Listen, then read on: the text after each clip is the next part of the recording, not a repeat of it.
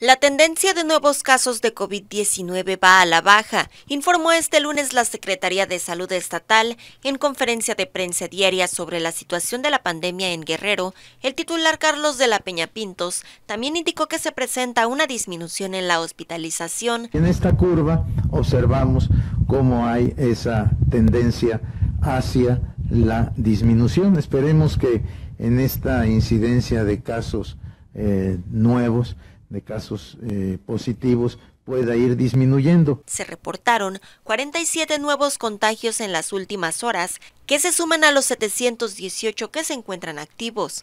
En cuanto a las hospitalizaciones, se registran 261 pacientes, 60 de ellos intubados en estado crítico.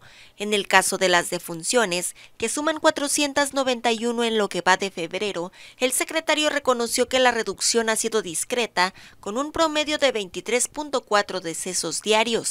Las autoridades hicieron el llamado a la población a no confiarse y a seguir las medidas de prevención. No nos confiemos, que no creamos que la pandemia ya pasó, que el uso del cubrebocas sigue siendo obligatorio y que seguimos haciendo la recomendación de que no acuda a lugares donde hay muchas personas. Suman en la entidad 34.753 casos confirmados de COVID-19 y 3.517 defunciones por esta enfermedad en lo que va de la pandemia.